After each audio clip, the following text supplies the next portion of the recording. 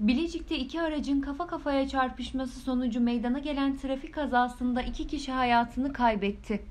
Alınan bilgiye göre Bilecik'ten Söğüt ilçesine seyir halinde olan Furkan M yönetimindeki yabancı plakalı kargo dağıtım aracı ilçe girişine geldiği esnada karşı yönden gelen Hüseyin Akalın idaresindeki 67 ZN 448 plakalı otomobil ile kafa kafaya çarpıştı.